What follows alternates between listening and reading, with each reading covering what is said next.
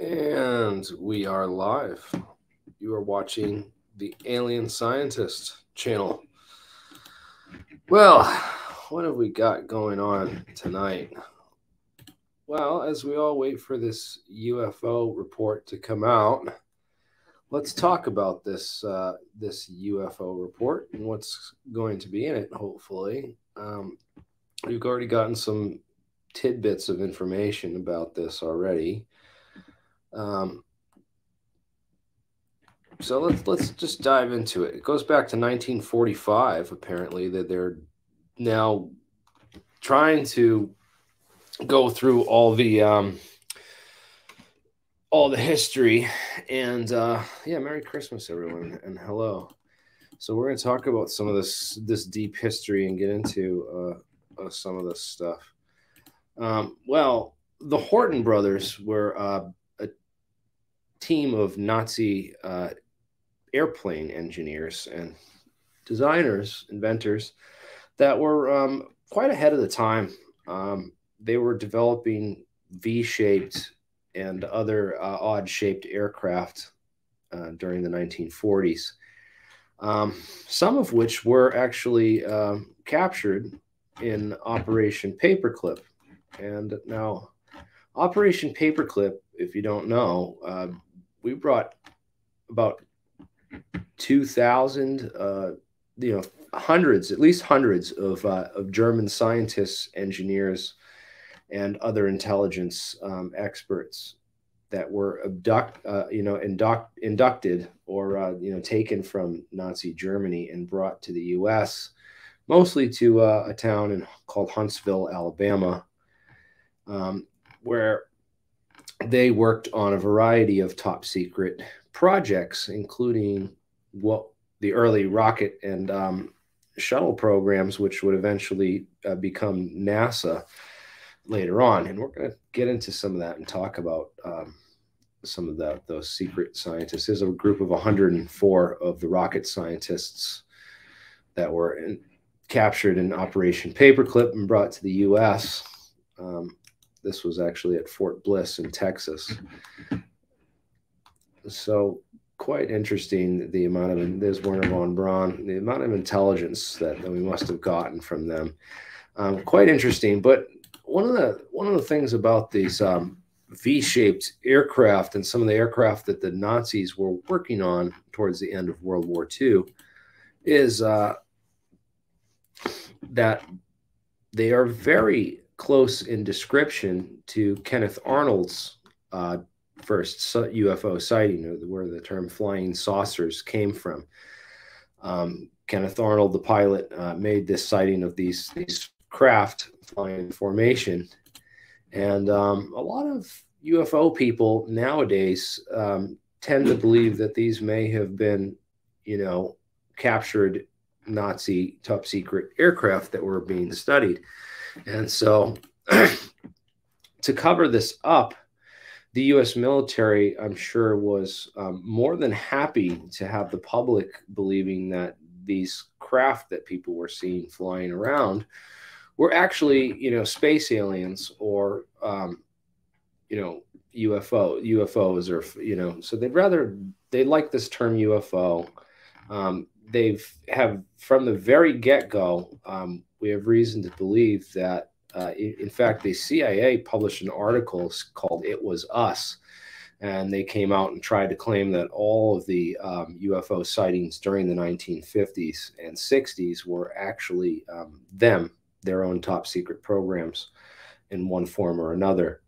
Um, a lot of them they blamed on U2 flights that they could, you know, link up the flight logs of and the tracking of, of all these U2 flights and uh, confirm that people were seeing these high altitude reflections and, and other things and reporting them. But what's interesting is, is the, the, the whole history of this. So they were working on right around this time a lot of top secret stuff.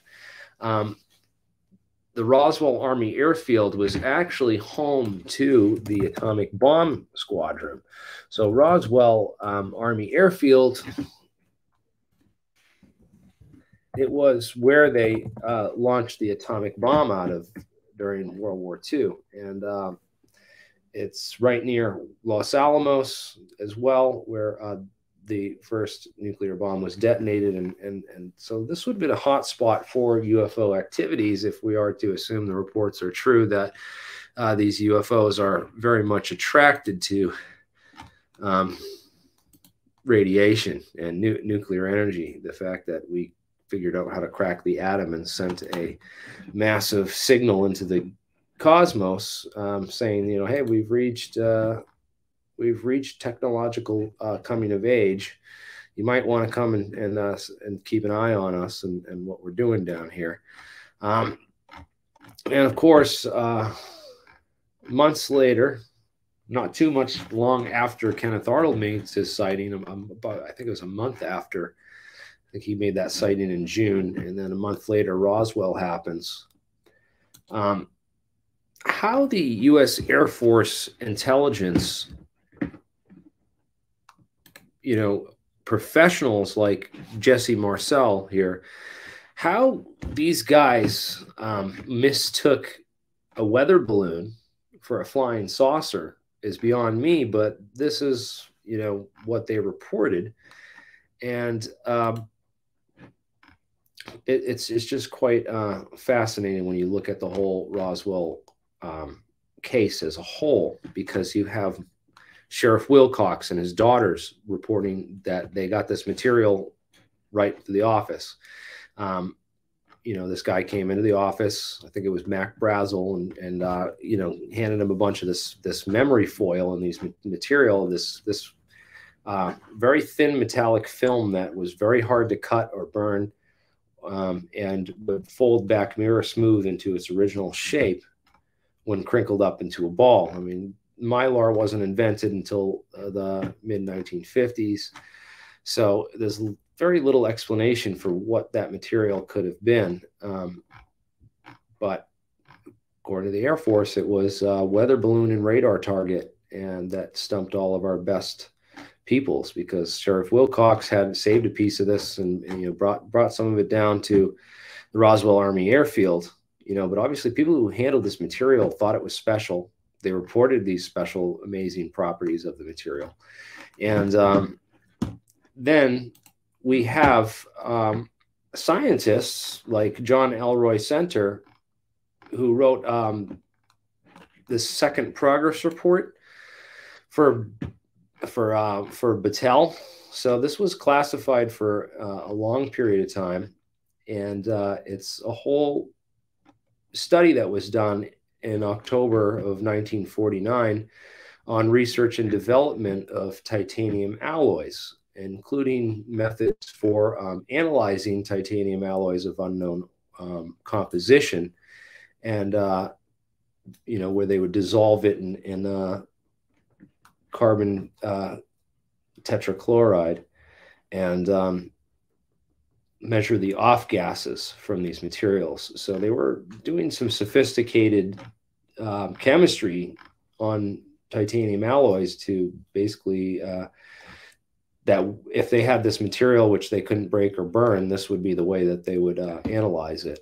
And we have the we have the whole um, summary report on this written by these metallurgists who worked for one of the top metallurgy firms at the time, um, a private institution called Battelle Memorial Institute, which is of course where you would bring these types of metals in 1949 if you wanted them analyzed in secret and um, no one to really talk about it. Of course, they did talk about it. John Elroy Center, you know, says that, hey, I, I, I was given some metals that I don't think we're made on this planet.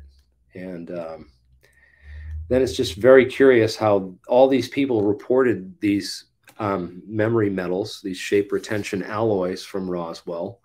Um, you had Battelle, our top uh, metallurgy contractors, doing this report, which was actually issued by Wright Patterson Air Force Base.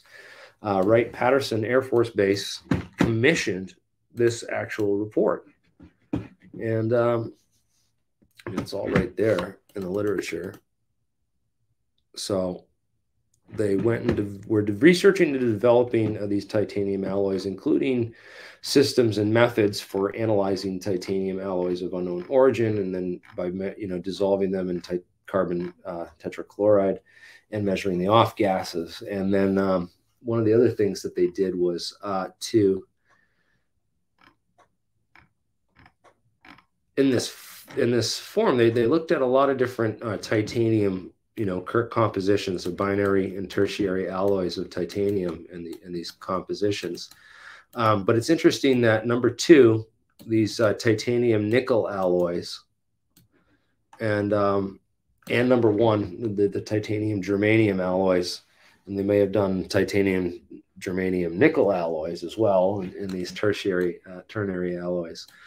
Um, so I think it's it's quite interesting that the binary alloys of, tit of titanium um, with nickel has the most amount of research that was done. So they did all these research into all these other alloys, but they the one that, that they looked the most into were these nickel alloys, and uh, it's it's super curious because shape retention metals, this specific specificity um, of this report and focusing on titanium nickel alloys and trying to learn as much as possible about titanium nickel alloys as opposed to the other um, metal alloys that they could have studied.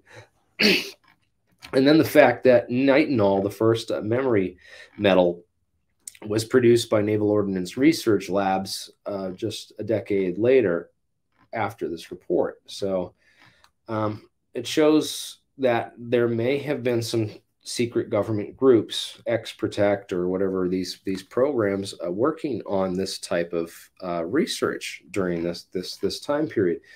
very curious, um, indeed, that this John Elroy Center fellow would tell his uh, his family and also other journalists who interviewed him later on in life that you know, yeah, I, I work with the stuff. I don't think it was made on this planet, and I've seen a lot of stuff but this stuff was super interesting. And then it turns out that his boss was this guy named Dr. Howard C. Cross. And um, he wrote a lot of book with this Eastwood fellow, who was actually the author of that report, uh, L.W. Eastwood. So he he uh, he was the head of the author of that report. Uh, Center just worked on the analysis part with the, uh, the dissolving, um, the analytical methods for uh, titanium base alloys.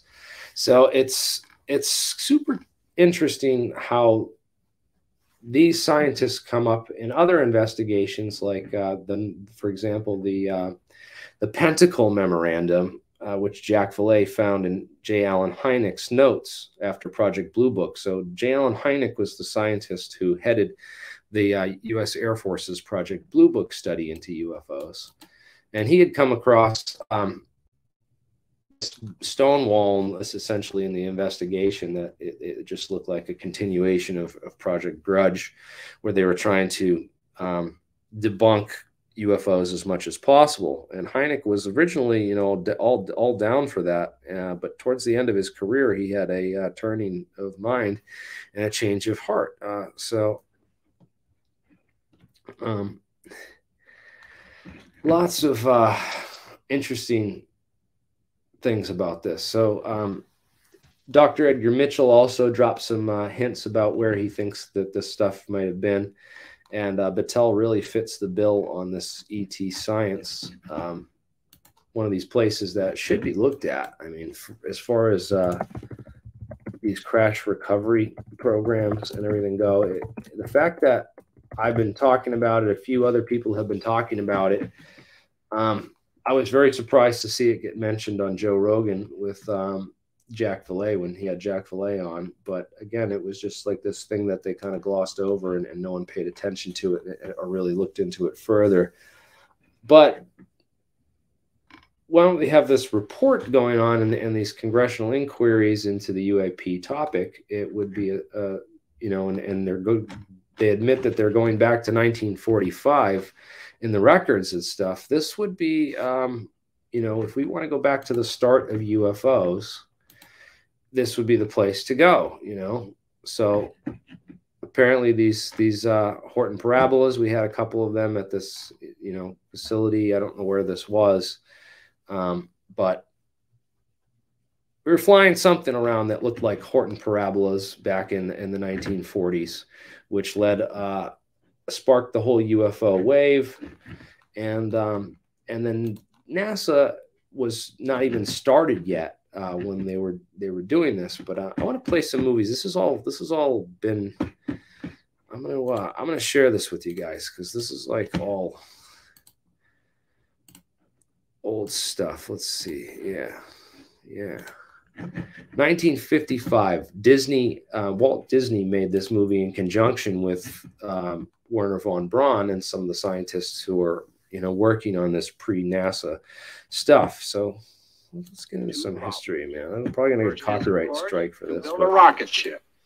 The second, and no less important, is to prepare and train the men who are to fly the future rocket ships and to provide suitable working conditions that will enable them to survive in space. To help show you what is being done to solve these problems, we have called upon one of the foremost exponents of space travel, Dr. Wernher von Braun, who is at present the chief of the Guided Missile Division of the Army's Rocket Center at Redstone Arsenal. He was also overall director of the development of the original V-2 rocket. The training methods for future space flight with the special equipment needed for survival are much like those of present high-altitude flying. The experiments we are making today are helping us to solve the more complex problems to come. Take the present-day pressurized flying suit, for example. It has been designed for use at extremely high altitudes and is a forerunner of the suits we will wear when we make that trip to the moon. To give you an idea of how engineers and medical men are working hand in hand, here are a few examples of the research that's being conducted at this time. This pressure suit is being worn in a test chamber where the air pressure can be dropped suddenly. Notice that the water boils at this low pressure, even though it is only at normal body temperature. Blood would be the same without the protection of the suit. In other tests, without the suit, where the drop in air pressure is less severe, we see that the body still reacts violently to a sudden decrease in pressure. Lieutenant Colonel John P. Stapp of the United States Air Force has subjected himself to the tremendous forces of a rocket sled that reaches a speed of over 632 miles per hour. The sled stops so quickly that Colonel Stapp's body becomes 35 times heavier than normal. From these tests, we have learned that men can take much greater acceleration forces than crew members of a rocket ship will undergo on a takeoff. Today's aircraft are so fast and so complicated that it has already become routine to. So, by the way, with the last scene where they showed those pressure suits and all that, um, I just want to point out that one of the Nazi scientists, a guy named Hubertus uh, Strughold, actually um, was in charge of all the high, uh, all the pressure chamber experiments that were done at Dachau. So they did like all these Nazi inhumane, you know, concentration camp experiments. Um, and this guy was part of the whole team, brought all that knowledge to um, our military and to this program, um, where they were able to subject, you know, human subjects to, you know, they were they killed people in pressure chambers, and you know, just to see how much pressure it would take and what people could take, and and and all that, uh, the medical to get all the medical science and, and stuff. So he's talking about the medical scientists working with these people. Yeah, he's talking about Hubertus Strughold um, I'll spell the name for people that want to look it up. But um, yeah, this guy was basically a Nazi war criminal that our intelligence agencies protected for years um, while these programs were going on. Um, fascinating piece of, of, of the history. So train the crews on the ground without risking lives or equipment. This is done with a device called a flight simulator. Here the crews experience all the sensations of an extended flight. The crews of future rocket ships will train much the same way. We will use a simulator on a centrifuge and employ an astrosphere to train the celestial navigators for our coming space flights. Now here's a model, my design for a four-stage orbital rocket ship. Compared to the unmanned instrument rocket, it is quite large, but the overall size and weight of the rocket is mainly determined by the 11 tons weight of this top section. This weight dictates the amount of fuel and the numbers of motors needed to produce enough power to equalize the gravitational pull of the Earth. The payload in the top section will consist so this is pretty amazing because here we have pre-NASA. This is three years, uh, 1955, probably 1954, even three, four years before NASA was created. Wernher von Braun invented the space shuttle. So what happened? You know, we, we didn't do space shuttle. You know, this reusable craft, and the space shuttle he has is a triangle too. It's a flying triangle to boot. So just let's just keep. List going. of ten crew members plus equipment. Notice the wings, small rocket motor, and landing gears. This is a section that must ultimately return the men to the Earth safely. To produce the energy needed to hurl this stage into the orbit, we need these three additional rocket-powered sections. Here we have a cutaway drawing of our rocket showing the location of the fuel and the motors each section. The first stage carries 1,060 tons of fuel, and its 29 motors will lift the entire weight of the ship vertically off the ground. Nitric acid and hydrazine, man. Um, so I don't know if this is on Disney Plus, but you can find it for free here on YouTube. It's called Man in Space, 1955. I think this is part one of it. Uh, so yeah, hydrogene's hydrazine's nasty stuff. So my dad's a chemical engineer and he had to work in a plant one time that makes hydrazine and he had to have a $1 million uh, health insurance policy before they'd even let him go and, and work in that plant. Um, it is pretty nasty stuff. I mean there's just absolutely no smoking at all in that uh, facility where they make that stuff. Uh, it is like i don't even think the people in the nearby neighborhood uh, know know what they make there and probably for their own peace of mind that they don't. The second stage has eight motors and carries 155 tons of fuel. It will be dropped at speed has reached 14,300 miles per hour. The next is our third stage with only one rocket motor and 13 tons of fuel. The third stage gives the passenger section the final kick to attain the orbit. It will not be separated from the passenger section until just before the return flight. The third stage will be left in space and a very small motor in the winged fourth stage will return the ship to the atmosphere so it can glide back to the base. If we were to start today on an organized and well-supported space program, I believe a practical passenger rocket could be built and tested within 10 years.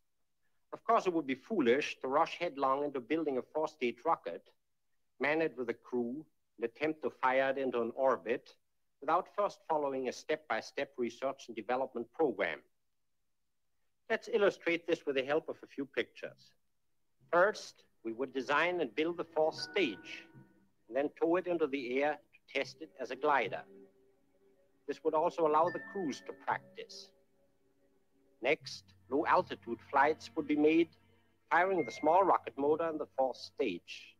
This would also give the crew more and more training.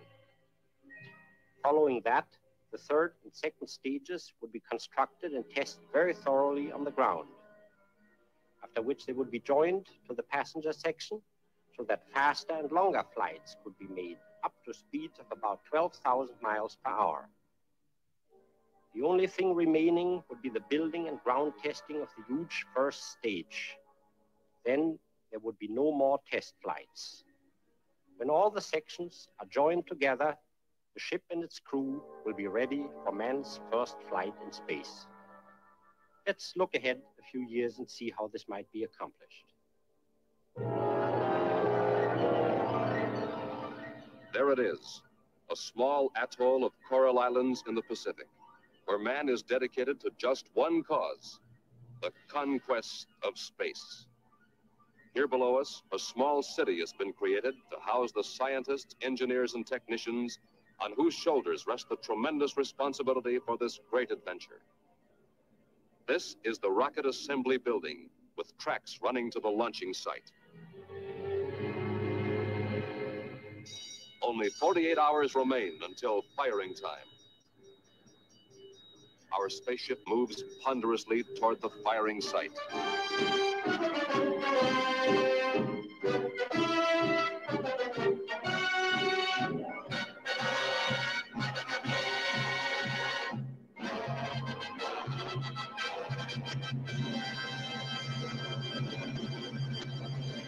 After the ship is securely anchored over the blast tunnel, the elevator spar is raised into place for the final pre-flight check and fueling.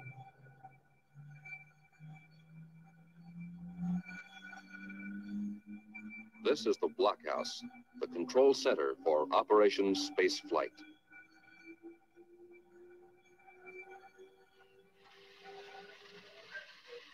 Here, the oscilloscopes, radar scopes, computers, and tracking devices are the brain and nervous system for the rocket.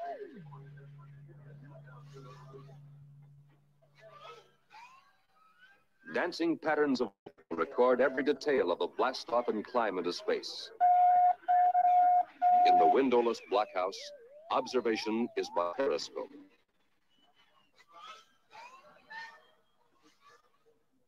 Through a system of worldwide radar stations, electronic eyes will always be focused on the rocket as it orbits around the globe every two hours. The tracking radars report ready and are standing by.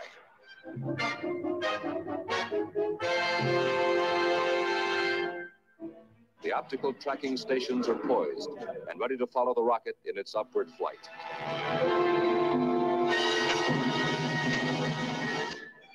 As zero hour approaches, the painstaking work of the checkout crew continues. The ship and every piece of its equipment is being checked and rechecked. Can you hear me? Will you give me that stage two separation signal again? Okay now. Now switch motor stage three to pitch right. Okay, now give me I don't want to get too much into that, but I do want to show the next part, and we're going to start talking about anti gravity uh, research, especially what started in the you know 1950s. Hey, I'm Joe. Oh Jesus. Well, and I'm one of the 30. Going to um yeah, thank you. I appreciate that. Uh do everything you can to help out with the algorithms because they've uh seem to be promoting a lot of crap these days and uh I guess people just want crap. They really don't have the time for a lot of that the deep stuff. So in any case, uh let's get back into it. This is part six of Mars and called Disney's 1957 Mars and Beyond. possibility of traveling to Mars in a spaceship has challenged the imagination of many men. Rocket ships of all sizes and shapes have been designed, but most of them rely on an enormous consumption of chemical fuel to escape the pull of the Earth's gravity. A spaceship using an electromagnetic drive to neutralize gravity is the obvious answer. But such a device is still a dream for the future. However, at the present time, an atomic powered spaceship has been suggested by a leading scientist in the rocket and guided missile field, Dr. Ernst Stuhlinger, who for some years has been working closely with the rocket engineer, Dr. Wernher von Braun. This atomic electric spaceship features a revolutionary new principle that will make possible the long trip to Mars with only a small expenditure of fuel. Parts for this spaceship will be brought up to an orbit by conventional chemical fuel rockets. It will then be assembled in the vacuum of space. This unusual ship will be 500 feet across and will carry a small landing craft for the final descent to the Martian surface. Located at the bottom is a small atomic reactor which furnishes a continuous supply of heat. This heat turns silicon oil into steam. After rising up a central pipe, the steam drives a turbo generator which produces electricity to run the ship. The steam is condensed in a giant circular cooler and used over and over again. In the thrust chamber, a platinum grid is electrically charged. The metallic cesium is vaporized and blown through the white hot grid. This ionizes the cesium atoms, and they are then electrically blasted out into space at the rate of billions per second. This thrust pushes the ship in the opposite direction. The atomic electric spaceship can operate continuously for a period of years. At the top of the ship, away from the dangerous atomic reactor, is cargo space and quarters for a crew of 20 men. Mounted outside on the thrust chamber assembly is the auxiliary landing craft. When our ship reaches Mars, the landing craft will be released, carrying men and supplies to the planet's surface. A drag chute will gradually slow the landing craft as it streaks into the Martian atmosphere. A few seconds before touching down, the main rocket motors will be fired and the craft will land gently. Uh, so we now uh, know that it's not going to be quite that easy um, to land and parachute into the Martian atmosphere. So um, if you look up uh, the NASA's flying saucer they're building this new type of parachute device apparently to um, parachute down into Mars because of the really thin Martian atmosphere. Um, and there's this whole article on it. I wish I could uh, show you guys more of this, but this is kind of what it's going to look like. That's kind of what it does look like. Not exactly sure how it works. Inflatable, what? But that's it. Um, yeah, let's get back to this. Uh,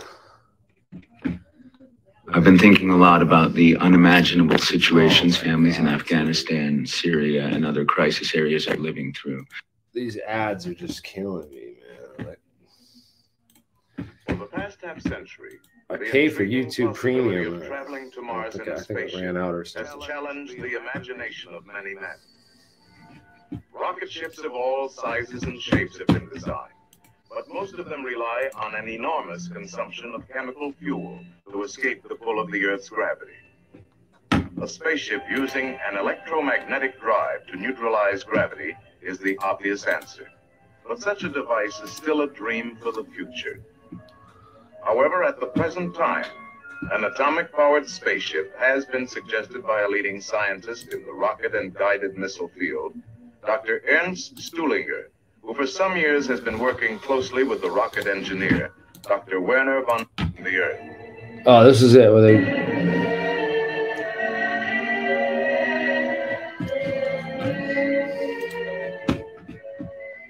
At zero hour, the thrust chambers are fired. We are underway.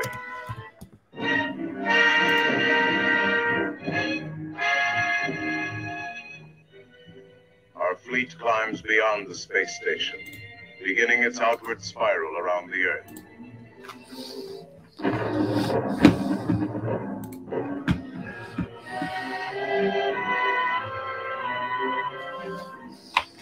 The speed is increasing steadily. After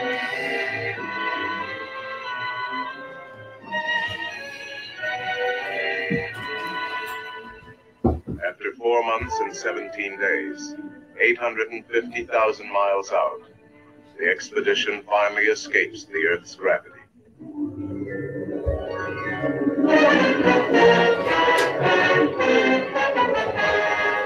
At six months, 14 days, our speed has increased to 75,000 miles per hour. Mars is steadily increasing in size. The halfway point has been reached. The thrust chambers are reversed. Deceleration begins. The Earth grows smaller.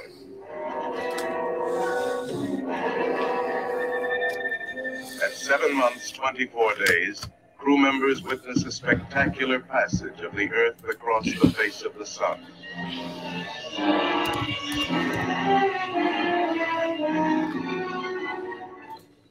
Three months later, the expedition is 700,000 miles above Mars, and the 45 day spiral in toward the planet has begun.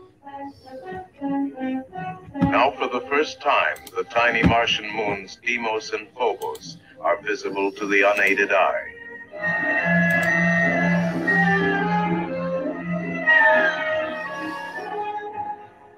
As we move to within 4,000 miles of Mars, we get a close-up view of the moon Phobos.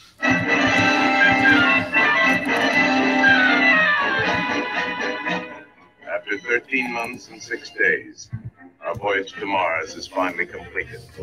The ships are orbiting 620 miles above the surface of the planet. Before exploration begins, test missiles are fired to sample the strange new atmosphere.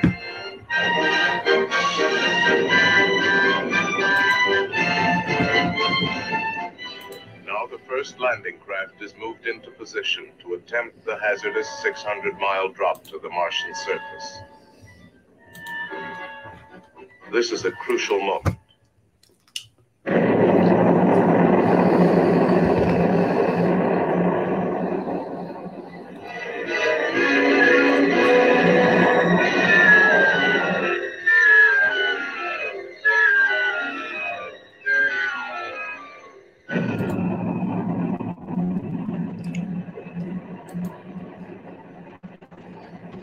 There's Elon's rockets. Look, look at this. Elon Musk, right here. Where did he get the idea? Look at that.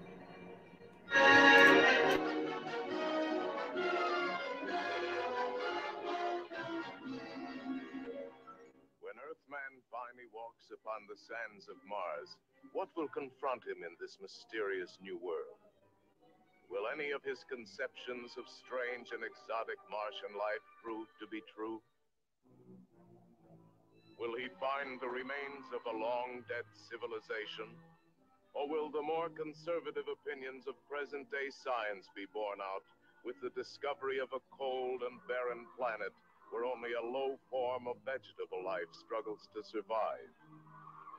These questions will be answered by our space pioneers of the future. In solving the enigma of the red planet Mars, man may find a key that opens the first small door to the universe. Carried forward on the wings of modern science, man in the years that follow may discover the miracle of life as it exists in all its countless forms throughout an infinite creation.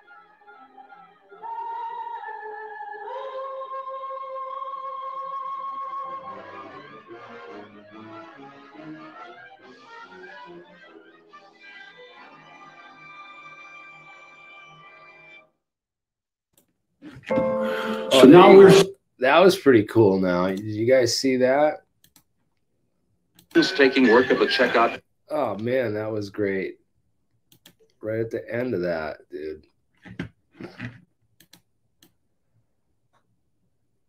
I like this part where they show this they show it doing this thing in front of the craft to make it fly. So it's got the flying saucer and it's it's got this thing going on in front of it. So this is super interesting. Um, a number of interesting things were going on at, around this time. So Bahnson Labs, as people know, um, we got the full video here. I don't know if this is it. But uh, yeah, so Bahnson Labs, we know that during the 1950s, the late 1950s, there was anti gravity research going on in a couple um, institutions and, and, and, different places. And one of the people that was working on it was a guy named Thomas Townsend Brown.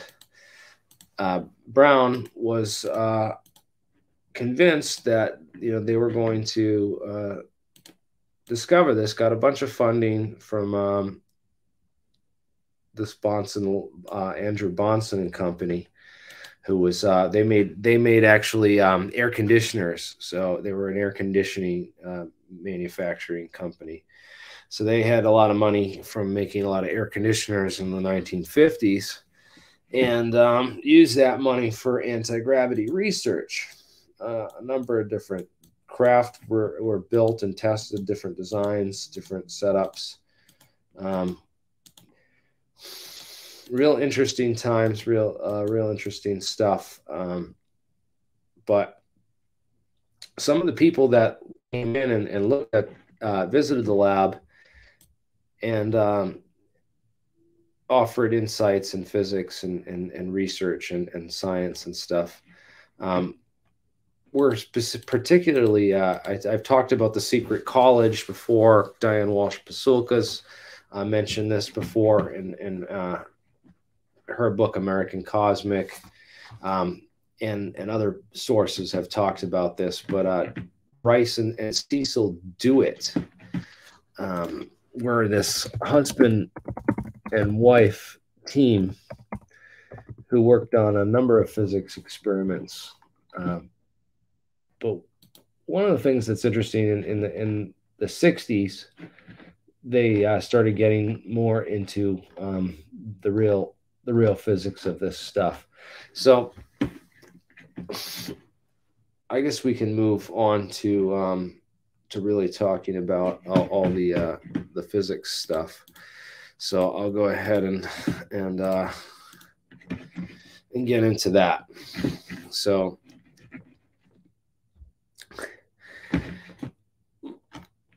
but before we get into all that, I mean, it kind of there's a lot of overlap, a lot of stuff going on with with the physics at the time and, and science at the time. 1946 Nobel Prize in Physics was actually for nuclear magnetic uh, resonance which was discovered by uh, Edward Mills Purcell, uh, who won the Nobel Prize in Physics for that.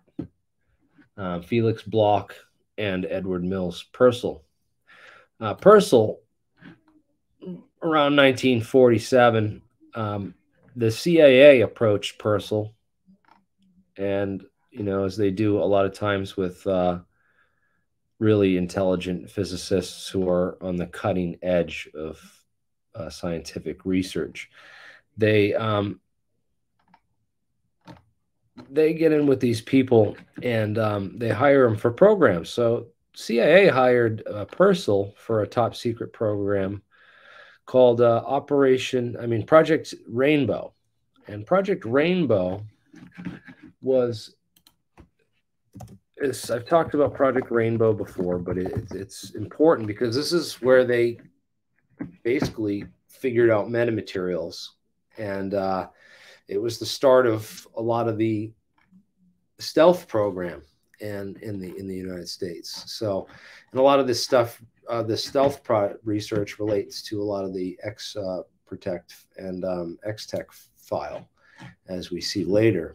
Um, but DeWitt is interesting, you know, as this member of this secret college uh, along with his wife at the University of unassuming University of North Carolina, Chapel Hill. You know, um, they didn't pick MIT or Stanford or any of these top uh, physics schools. That they wanted a, a, scientist who had the the right understanding and knowledge and background in the field, and um, and that was uh, it. He was uh, really into um, a lot of the research on uh, bring you know uh, with uh, Wheeler, uh, John Archibald Wheeler in the in the late 1940s and 50s, 1950s. Uh, he was working on a lot of uh, Einstein's theories and this unification and, and these ideas for unifying physics and whatnot. And um, he was working uh, with guys like Bryce DeWitt. And um, and also sending some of his brightest uh, grad students along to help out with with some of this research as well. So um, interesting. We get into I'll get into some of this. Um, you know, some of these forgotten relativists of of these this age. There's there's a lot of papers on a lot of these guys that did a lot of uh, the physics theory that was uh, of interest at the time. But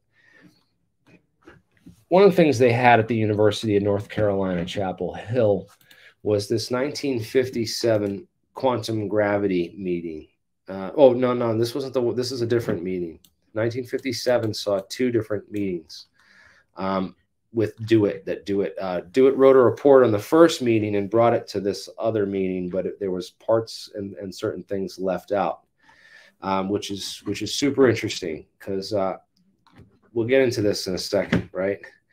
Lots of lots of interesting connections, and and uh, I had heard about this a little bit before, but uh, you know who really got me down this rabbit hole was Eric Weinstein and him talking about um, some of the people that he started studying, you know, on that, you know, the thing with Hal Puthoff that he did on Jesse Michels, and, and he's brought up a, a, a lot of these things and some of his other um, stuff.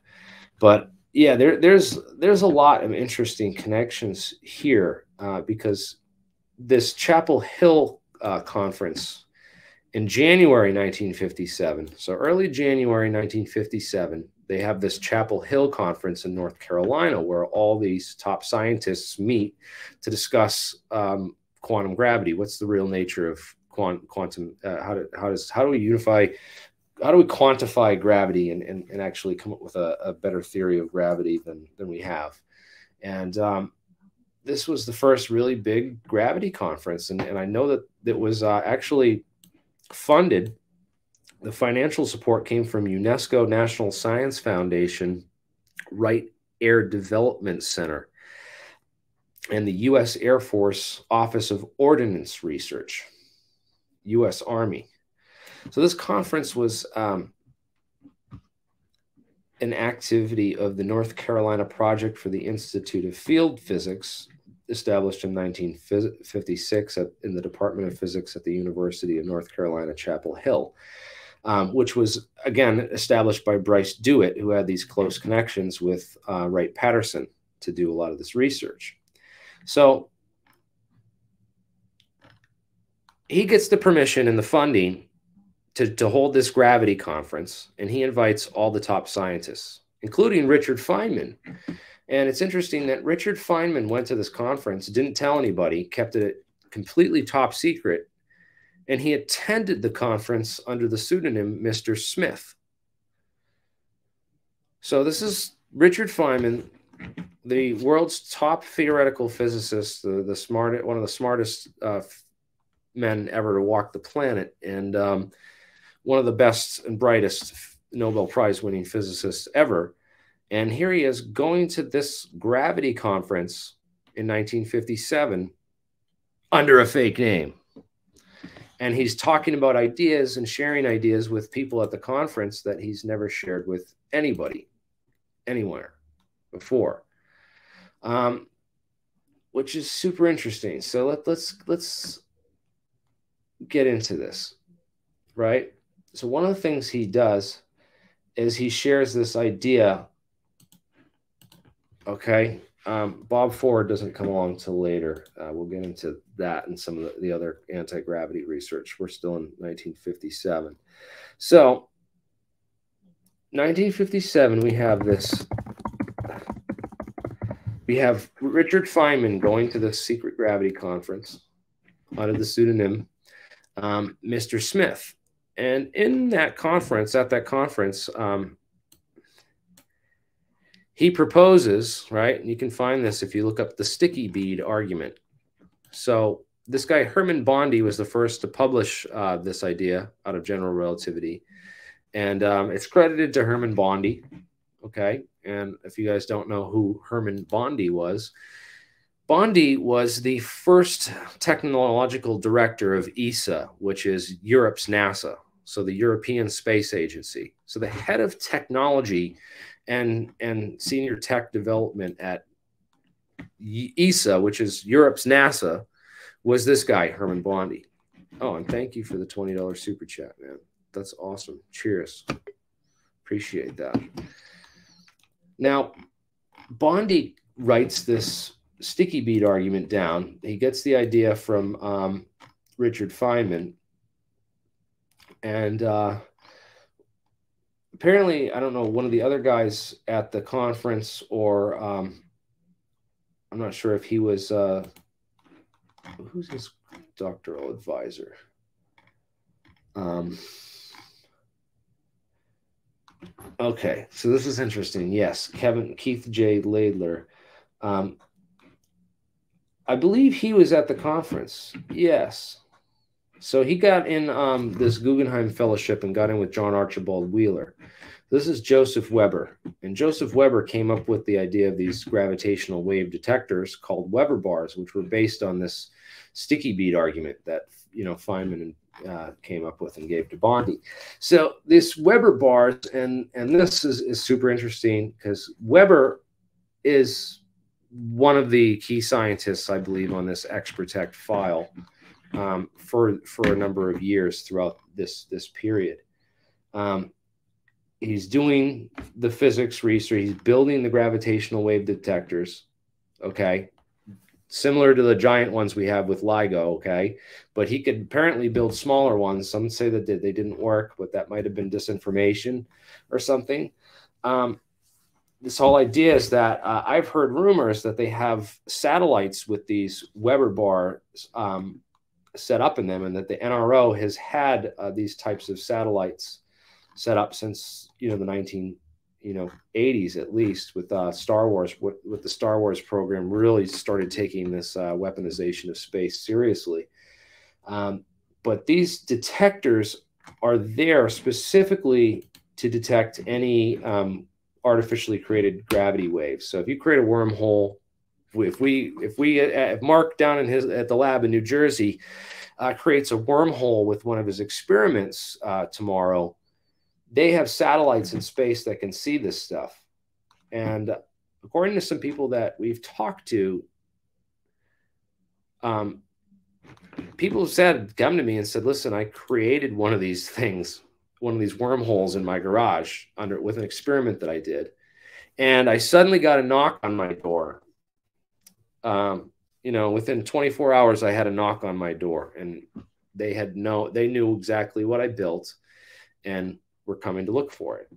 Uh, so this whole idea kind of may sound like science fiction, I, and and again, I, it sounds like a conspiracy theory because there's no uh, solid evidence for, for this, but um, it might be something that the right people could look into and look for. Because if we have, you know, these um, maser and laser, you know, so he did a lot of the early work on masers and laser technology and these gravitational wave detections and these uh, quantum electronics and stuff.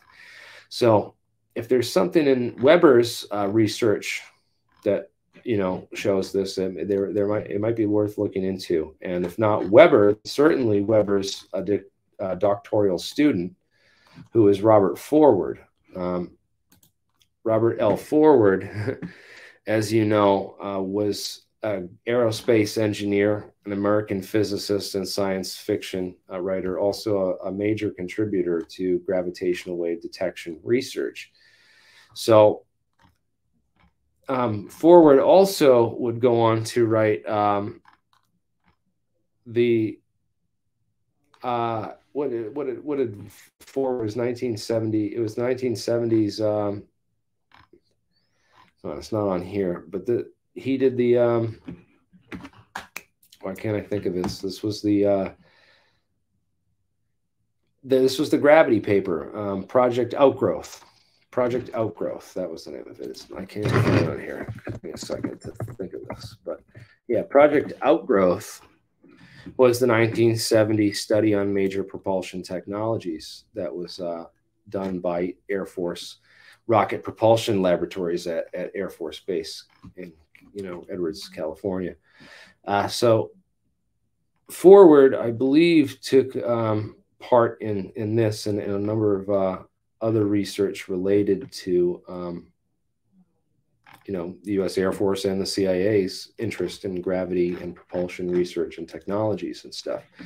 So yeah, so big jump there from going right from the 50s to, to the 70s on on the things that they tried because there was a number of other things, papers written and, and things, other things that they tried on the in between.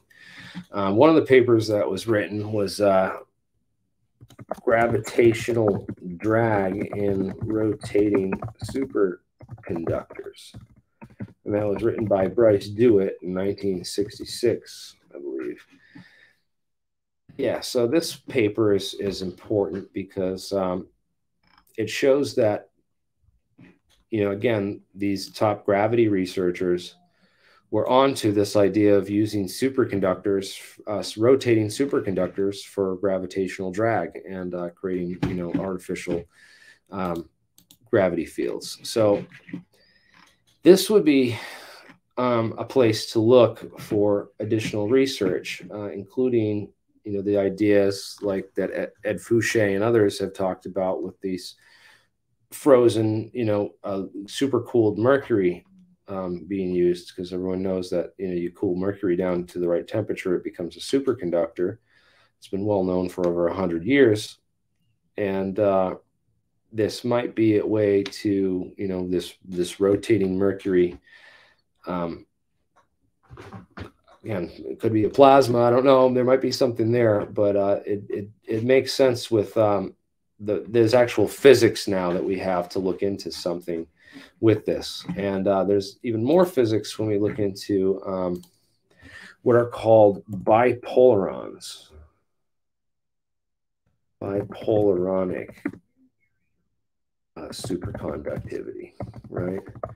So there's another, in addition to BCS theory, there's another theory of superconductivity, um, which call is called bipolaronic superconductivity, and it might be possible that um, in these mercury plasma solution uh, that you're creating bipolarons, and that that's what's uh, responsible for the superconductors. So there are some physics here that uh, we can now test and look into with regards to this um, ideas of rotating liquid mercury. Um,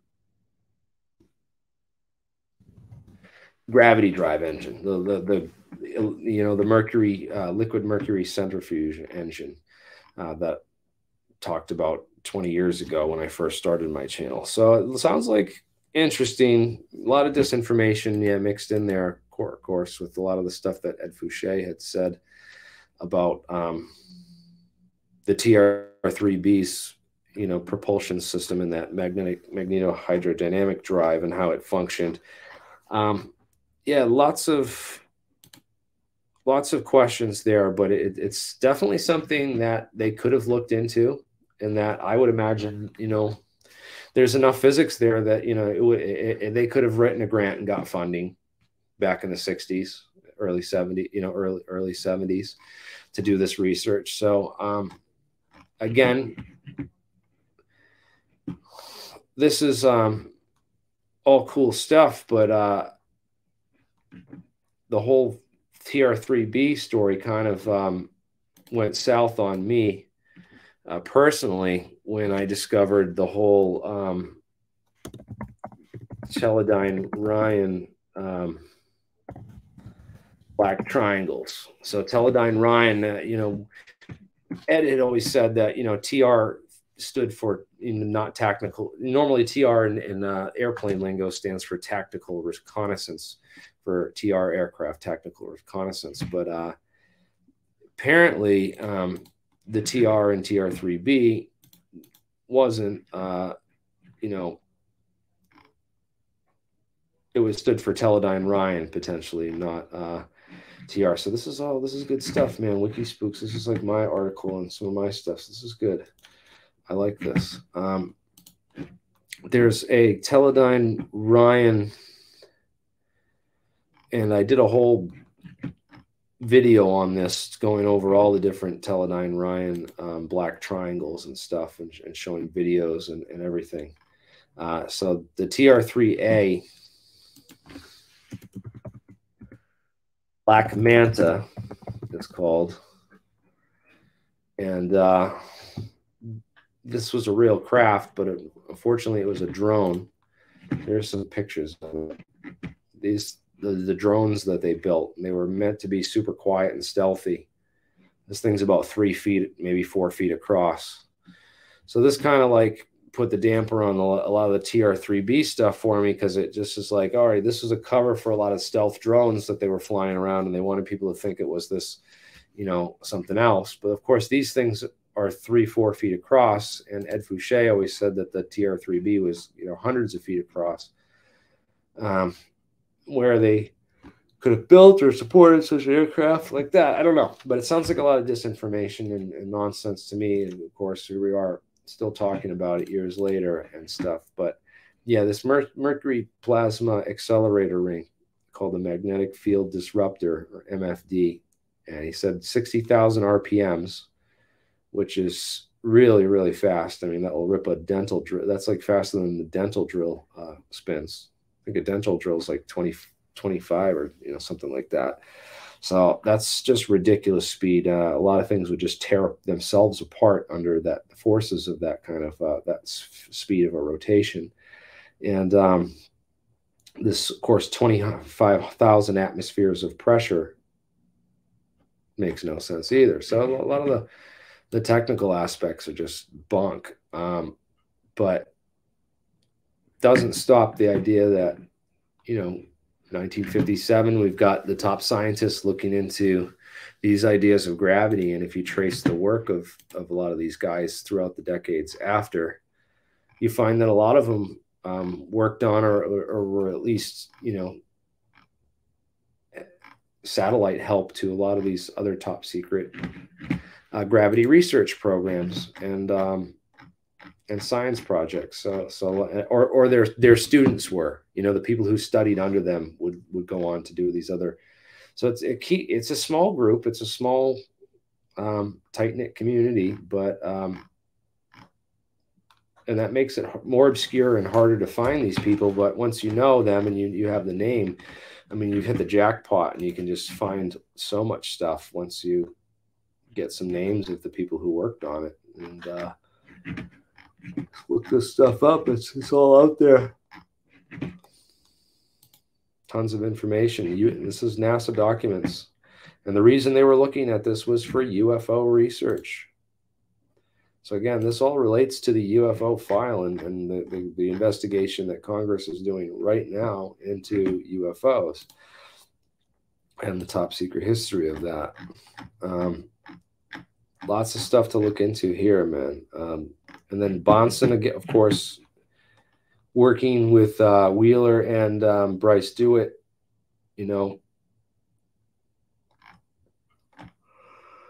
it's all there, man. It's there's lots of lots of lots of detailed sources. Um, more stuff I can't really get into just yet because I'm waiting. I'm hoping that Eric Weinstein will join and uh, you know, doing a, a debate or a talk about this because you know he seems to think that um, you need these mathematics people and the um, differential geometers and the people who really do this type of advanced relativity theory uh, to be able to unlock the type of math that he thinks um, you need to create warp drives or, or this this next gen technology. This, of course, there's lots of people who disagree with him, and um, and we like to talk to all this everyone, all the smart people in the room get them together. I love watching them talk to each other and debate. Um, this group I had mentioned, I think, in a couple past streams and sometimes before, uh, called RIAS in Baltimore. And I actually went and interviewed the only surviving member of RIAS that I could find. I think he's like he's in his 90s now, and he, and um, I have that interview. I haven't posted it or shared it yet, uh, but he had some interesting information to share that he knew more, more about the mathematics group and the mathematicians group that moved to Brown University in 64. Um, and he said that they were different. The math group the, were different from the physics group, and that he didn't really know a lot of the guys in the physics group or what was going on in the physics group.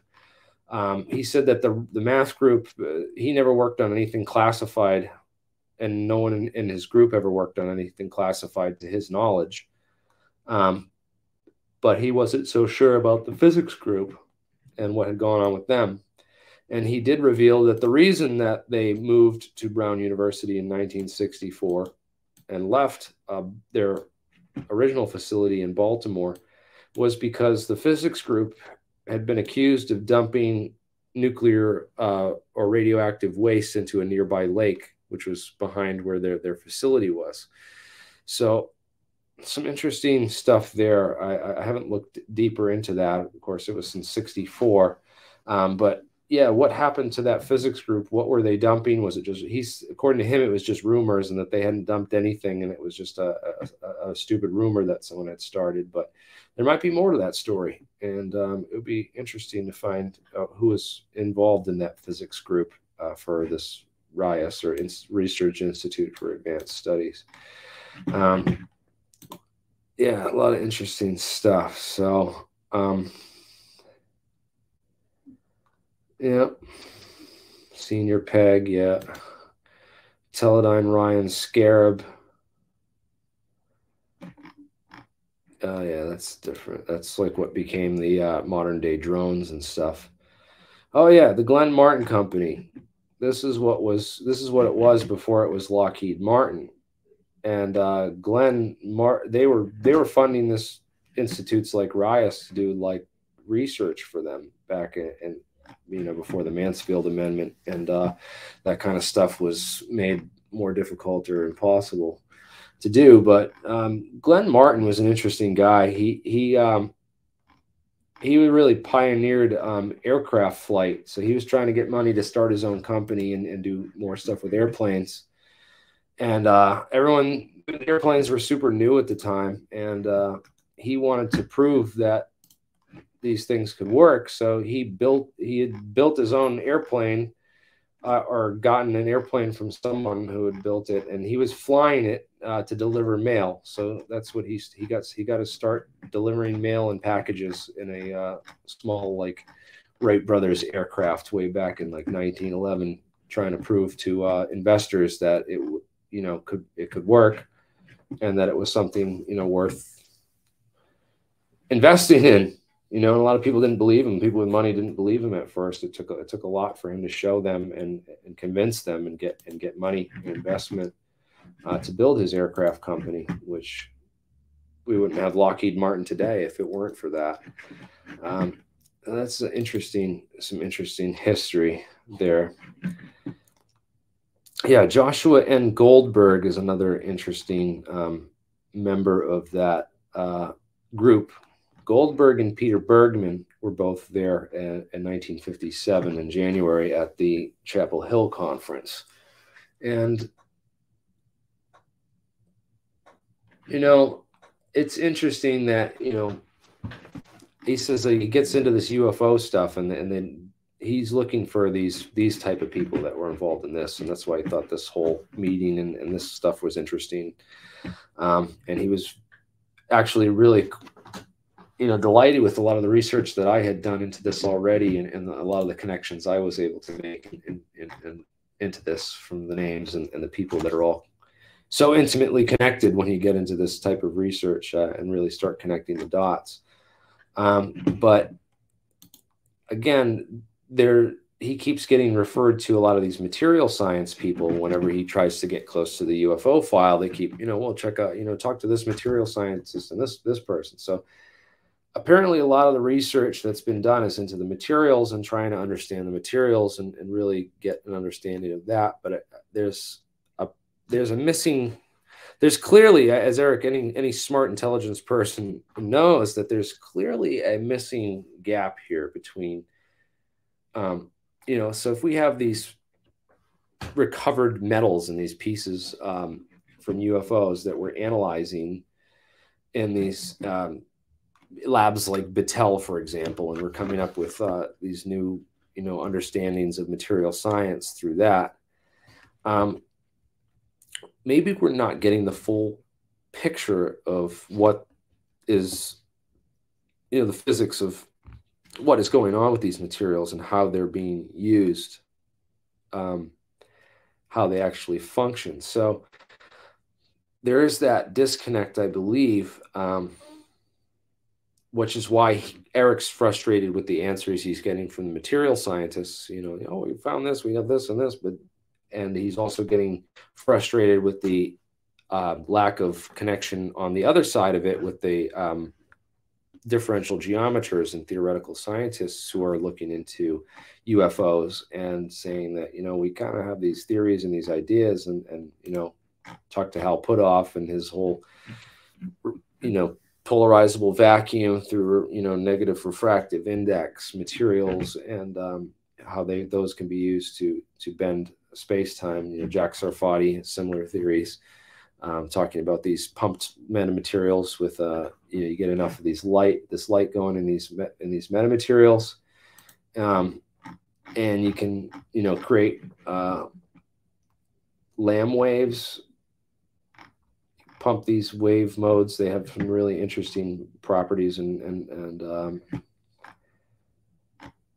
abilities, but uh, this whole idea of this craft being the hull itself being like a, a, like a musical cymbal where the thing vibrates itself um, the amount of the, the way that you could lay wave modes on top of um, a material which is both you know vibrating mechanically and also um, atomically through um, trapped light.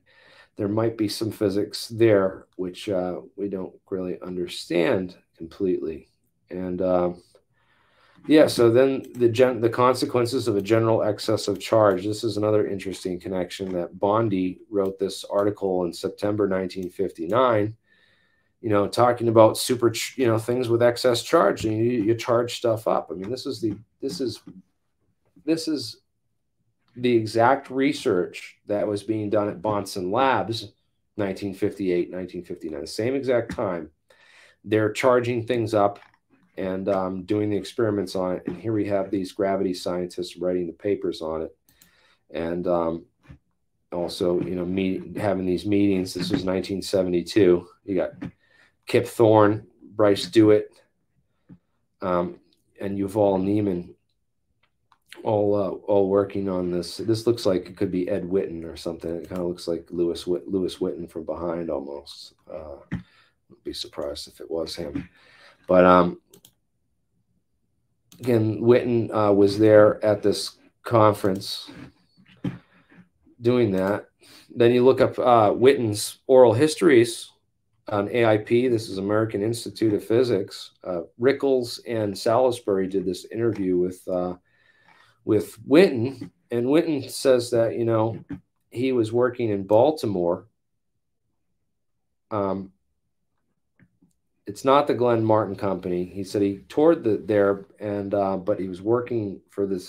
So he's working for um, in Baltimore for this Glenn Martin company, and he was working on um, in 1947 or 1940s, anyways, as early as 1947. He was working on pilotless uh, aircraft, and this is admitted to in his uh, thing. The CIA basically hired him to work on top secret research for pilotless aircraft, the drone drone technology as early as the 1940s, and um, so there's some a lot of interesting aerospace tech and secret science connections as well going on behind the scenes uh, there. Um, ran into this other guy named uh, Henry Kolm, an American physicist associated with MIT for many years with extensive expertise in high powered magnets and strong magnetic fields.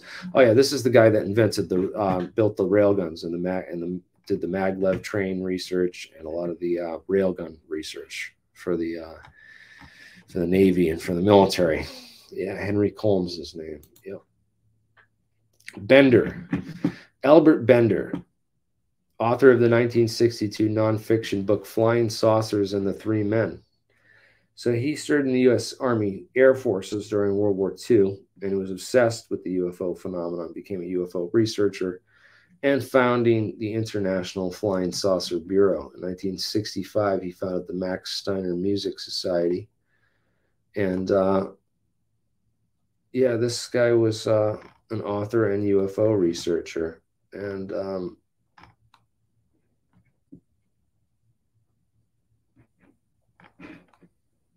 really cool guy, man. wish I could have met you, dude. Yeah, so some interesting early researchers of ufology, you know, that of course the, the UFO Twitter or the modern ufology, George Knapp and Jeremy Corbell would like you to, you know, forget all about this history and all, all about all these people and think that the UFO file is all about them and Bob Lazar and uh, and everything else. So Bob Lazar, of course, people need to research the Bob Lazar timeline. This is the first place that I send people to uh, who are new to Bob Lazar and uh, new to the research. Um, I tell them to go here and check out um, Tom Mahood's website, otherhand.org, and, and just search for the Bob Lazar timeline. Um, of course, Jeremy Corbell is now trying to twist around the Jerry Freeman story to make it sound like it actually um, promotes his garbage. Um, but you can read the 25 page uh, version of Jerry Freeman's story here um, on otherhand.org. And um, you can read. He walked right out and up Nine Canyon, right up onto Papoose Lake, and walked right out there looking for this trail of the lost 49ers.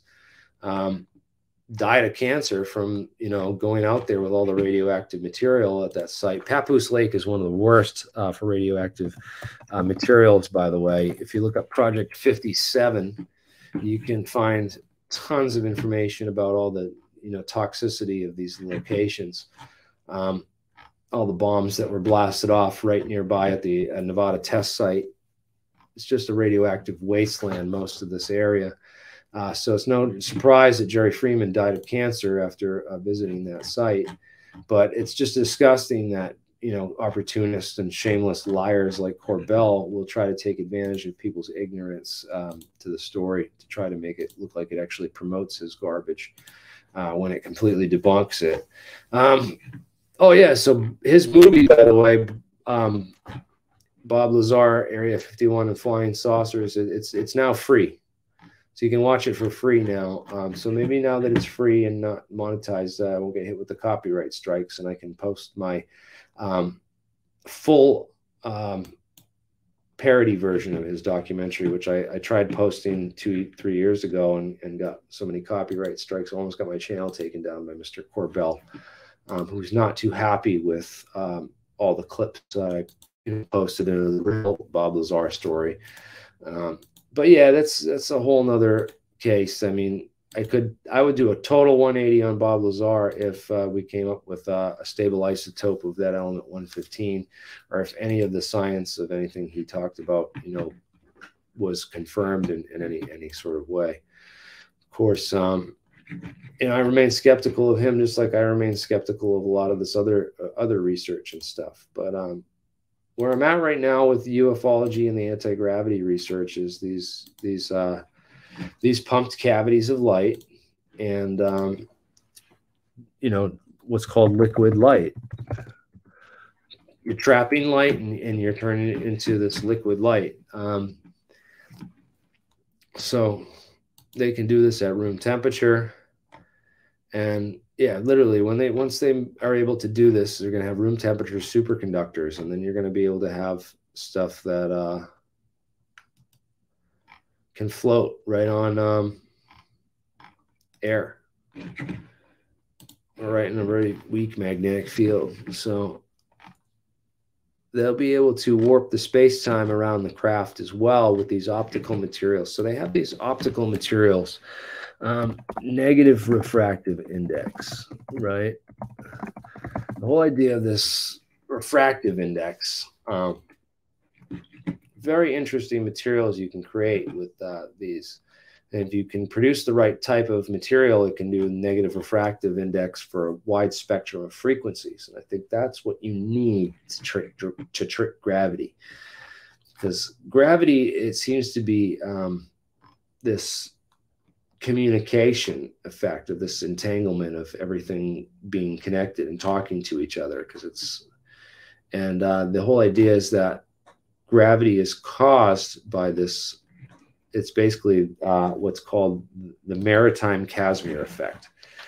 So the Casimir effect is this whole idea that um, you're blocking the waves between you and uh, so say that you're a boat the maritime casimir effect is really easy to understand and visualize because it, it's uh, it helps you understand the whole idea of how this this wave wave connection works. Um,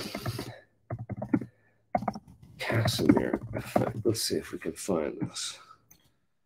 So the maritime analogy of the casimir effect is is as follows. So you get two boats right? And all the waves in the sea are going all around, right? So the when you have these two plates, the waves between the two plates or the two boats um, are all damped except for the it damps out all these other waves except for a few of the frequencies because only the frequencies, basically only the wavelengths that that um, can the only wavelengths that can exist in this space between the two boats are the wavelengths which are harmonics of the distance of that space between the two boats. So it basically blocks all those waves so that there's an uneven pressure on the outside. And what happens is it pushes the two boats together slowly. And they've done this in, in wave tanks and wave chambers. Um, and they've taken this out of a lot of the educational materials uh, of talking about gravity and, and all the. Uh, they don't want people to know what gravity is. They don't want people to know that it's it's pretty much this easy that it's this we live in this sea of electromagnetic energy that connects everything at the speed of light and that everything is connected at the speed of light communicating with each other. But when you have these two plates it blocks out the frequencies between the plates and so you get this uneven pressure and, the, and it pushes the two plates together. So the boats will actually um, end up together. If you put the two boats in a wave uh, chamber every time that they'll end up uh, they'll end up together. They'll end up crashing into one another because the, the waves between the two boats are damped and it, there's an uneven surface pressure um, around. So the whole idea is that if you can, you can't really. Um, so the speed of the speed of light is the speed of light. You can't really beat the speed of light, uh, but you can in this one local environment uh, increase that speed of light um, as long as you don't increase the you can increase the, the phase velocity just not the group velocity and um, that's an that's an interesting concept because you can do is uh, it travels around the material. So this is like because it travels in an arc it travels faster than the speed of light but the group overall group velocity still has to obey the speed of light. Um, so the whole idea is that if you can create these wave forms with the with the light and you create enough of these frequencies so that you can all so that all the light coming in incident on this craft is bent around the craft itself and goes out. What would you see when you see this craft? Do you see something similar to that uh, flight of the navigator ship?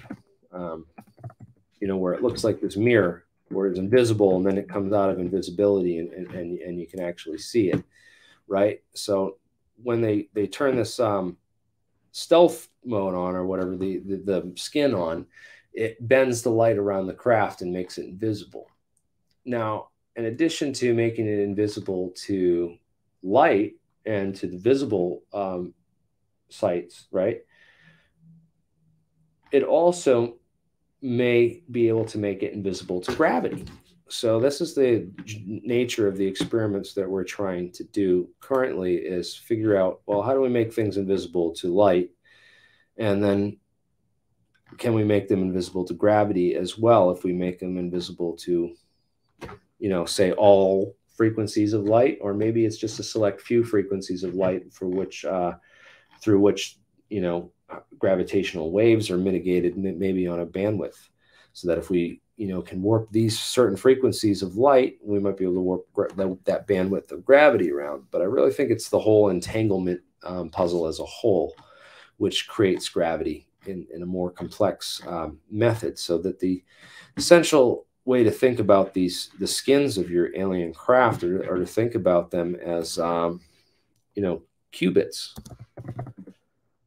think of them as, a, as qubits in a quantum computer. So these quantum computers that we're designing um, currently at you know places like Microsoft and Apple and Intel and Google, um, these are very primitive um, compared to what an alien might have.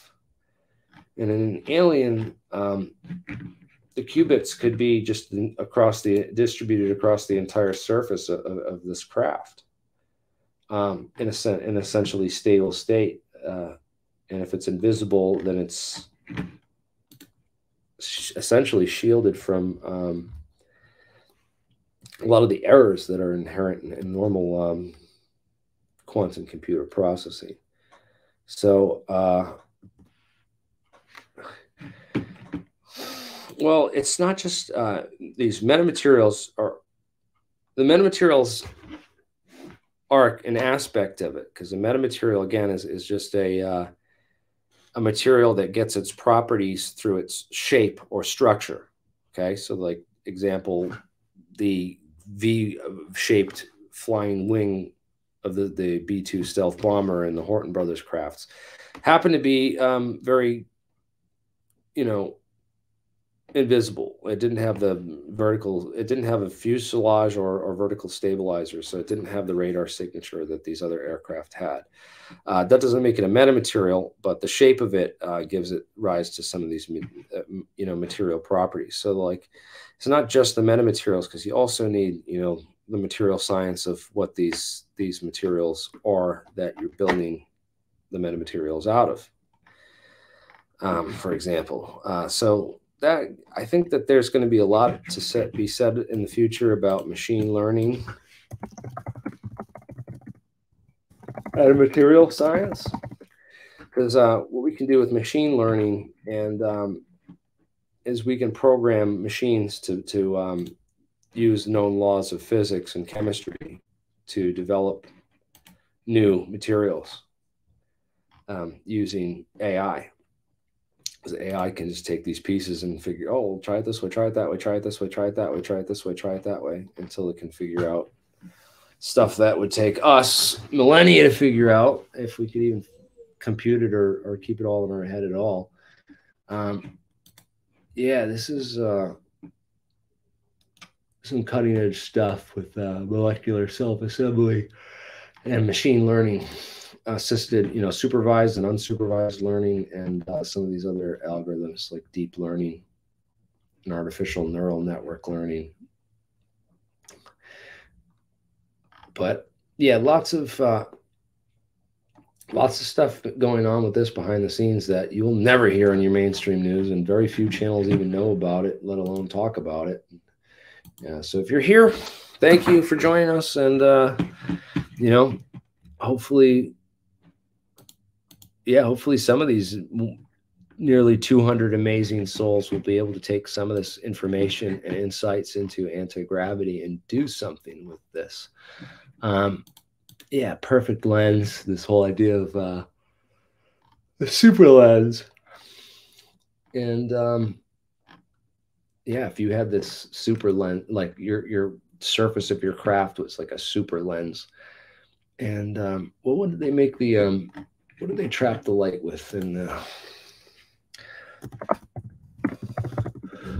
in those trapped light experiments? So they, they, they pump it into a lot of these um, optical materials. And, and uh, a lot of times it's, yeah, it's like a dielectric with mirrors, you know? And I think that that idea is very much in line with the Casimir effect. Uh, yeah, lots of interesting science here for people to look up. You know, I'm not making this crap up. There really uh, are patents on this. There are really um, scientists who worked on this that you will never hear about or know about from the mainstream media or any of the, you know, channels out there that don't get deep in into this like we do here but um yeah i think uh, this is good man. We, we've gone to a lot of the stuff. Oh this conference was cool too because in 1962 so 57 then five years later uh, we have um, joan penrose this is Roger Penrose's future wife here, takes this um, picture, of this international conference on general relativity and gravitation, held at the Jablonna Palace near Warsaw. So you got Alfred Schild. They don't know who this guy is. He's unknown. Really? Someone's got to be able to tell who this guy is. He almost looks like Bondi, but not quite. Um, Jürgen Ehlers, David Finkelstein, J. Question mark Fletcher, Roger Penrose. That's Roger Penrose right here on the car. Um, Dennis Sciama, Roy Kerr, almost hidden in the back right here. Josh Goldberg, we talked about him, and Rainer Sachs. Josh Joshua Goldberg was uh, the grad student of um, Baker. There was it. Uh, God, it's hard to keep all these names straight in my head when I don't know too much about them personally. But um, yeah, Alfred Schild. Again, a lot of these, a lot of these guys this is the real uh, Neil Bohr Institute. All the scientists there. Oh, Al Schild's uh, memoirs or something. This is really cool. Him right here. Yeah, a lot of real interesting history of science and, and some of this. Um, but let's get into um, where the UFO file sort of went. 19 so we got you know a lot of through the 60s a lot of a lot of the 70s in here. Then 1980s we have the star wars um, it's called the strategic defense initiative.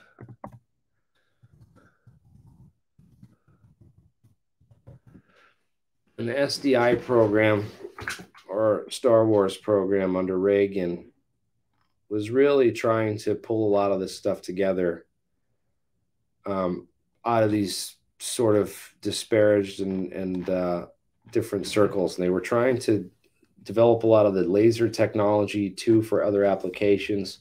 There was uh, directed energy weapons research going into um, research on how to take down inter, in, you know, track, intercept, and shoot down um, incoming ICBMs using you know laser surface to air uh, defense sites, and um, there are also a, a, number of projects to you know fund these these technologies and and um, and do more with this uh, this technology. So yeah, SDI in the in the seventies in the eight I mean the eighties was a big uh, a big step. And then it seems to look like right at the end of the 80s, early 90s is when they were really getting into the metamaterial. They, they were just starting the metamaterials research and, and uh, rumors were going around about just what they might be able to do with these types of materials in the next 10, 20 years.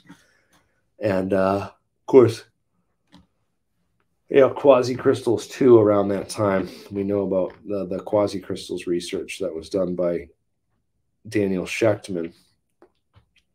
So, yeah, man, let's uh really interesting stuff, but the metamaterials really took off around like 2002. You don't really see much about metamaterials in the scientific literature until like around 2002, 2004 which is of course you know five years before AATIP and all these other you know projects and programs. Uh, when the heck did AATIP start? It was in uh, you know 2007 is when it began. Yeah, so five years before that is when this the UFO metamaterial stuff started really kicking off. Um,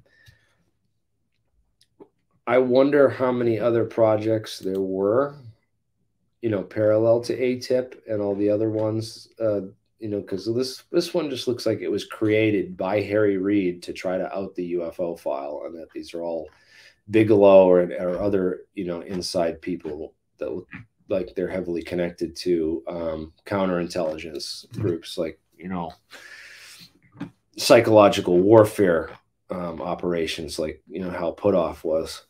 So yeah, I'm not so sure. I, I like Hal, I like a lot of his work. Uh, just weird out by the fact that you know these guys haven't produced nearly what I feel like they could be putting out there, and if they were really out for disclosure and getting the science and the and the technical information out about this out there, uh, we would have seen a lot more being done. And I and I just uh, I just wonder what is going on with all this, you know, publicly. You know, it just seems like there's a lot more going on behind the scenes than we're being told.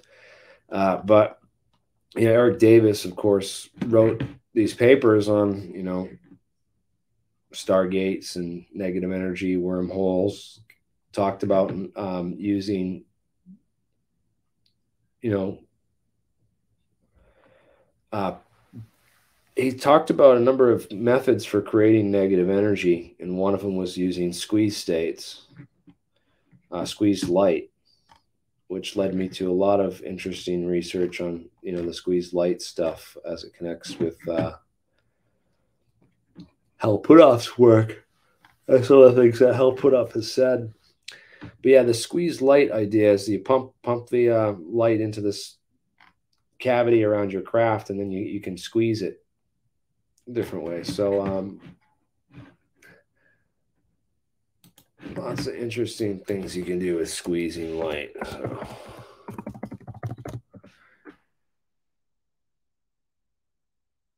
What is the guy did the razor blades? Smarter every day. Is that it? Squeeze light. Razor blades.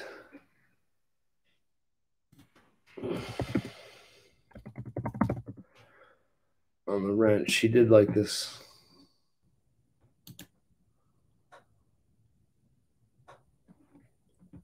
I'll have to find that video. But anyways, uh, I'm gonna open this up to uh, at the after party. We've been going for an hour and a half now. Yeah, light acts like a fluid. It's liquid light, man.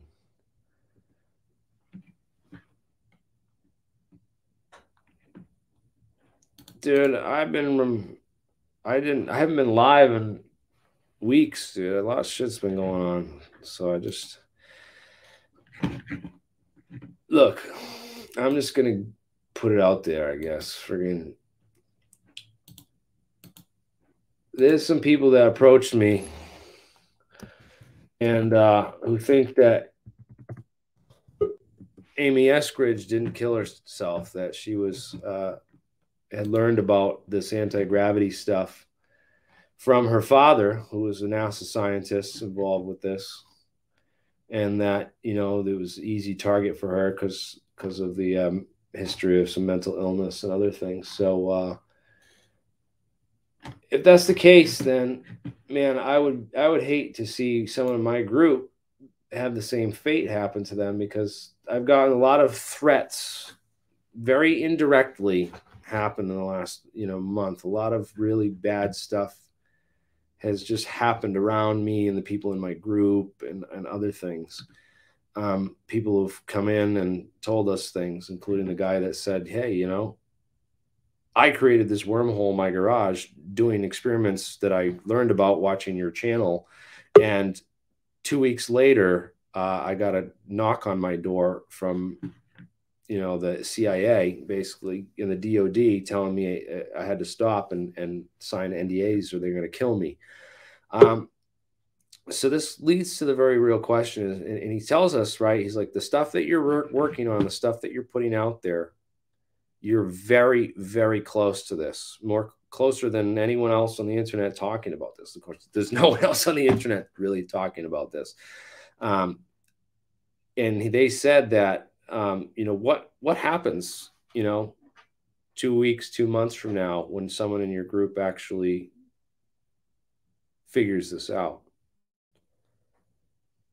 And um, man, that just kind of like threw me for a loop because this is what I've been like thinking about and working towards. Yeah, we're gonna do disclosure. We're gonna we're gonna you know bring this all out and and uh, and then I just kind of got reminded this past month about how easy it would be for them to squash me like a tiny little bug. And they've made that very, very clear. Um, yeah, lots of lots of bad people around, man. The whole fucking situation. It's just so I would need to be 20 times bigger than I am in order to you know bring disclosure out that basically these entities are out there pushing this fake false version of disclosure is not never going to lead anybody anywhere. They're just going to keep people chasing their tails. And they're going to shut down guys like me who are you know doing the experiments doing the science trying to talk about the real history and, and doing good research. And they'll never show people like they'll never show that image to the public of ufologies. So they're going to show people like corbell that's why corbell gets on these shows and, and gets put on fox news and, and, and, so he can make the community look like um, a clueless buffoon um, yeah so uh, because if Bob Lazar was telling the truth, he wouldn't have gone on Larry King or Joe Rogan. We wouldn't be talking about him today. There wouldn't have been specials on Unsolved Mysteries about him. That you know they they would have they would have taken him out, man. Because Bob Lazar is not the real deal, and I've already talked about this. Yeah, they basically said, you know, hey, there's a couple places you could apply for, to, and we'll, we'll we'll definitely take you. Um. Yeah, I just uh, I don't know what to do right now, man, guys. I'm caught. I'm caught up because it's like I love talking about the information and getting it out and, and doing this stuff, but I've just been reminded this past month that um, they will kill me and they will make it look like an accident and they will prevent any of the real technical details and info from reaching the public ever. Just you know, like they've done with everything else. So, uh, man, yeah, that's that's where I've been at, and it's not a it's not a not a good feeling, not a good place to be because I was so you know happy about the fact that we were getting so close and that I you know working with a number of labs right now, which I feel could make a breakthrough in, in a year or two, if not you know, shorter than that. And now I've just been reminded that, you know, hey, I'm probably going to be better off just disappearing. I don't know. I don't know what I don't know what's going to happen because then I've been warned and told all these things that will happen if this technology gets out to the public. And you know, oh, well, you, this could wind up in hands of you know Putin or or some of these other guys and, and stuff. Um, man, yeah, I'd have to create like a whole nother channel and and not and disguise and build it up big or something, man. Because they've already like they've already figured out my channel. They know what I'm up to, and they've already made the moves. They have a kill switch in place, like everything, man. And and yeah, it's it's messed up, man. So we I have hope for disclosure, man. And like now I'm like, you know, I, I've been pushing this whole disclosure for five years since 2018 and really working hard to educate and try to get the truth out to the public. And now I'm just in a position where it's like, man, these guys uh, are in such control over all this stuff and they put such liars and frauds out there in the main public for us to, you know, look at and think are the real deal. And um,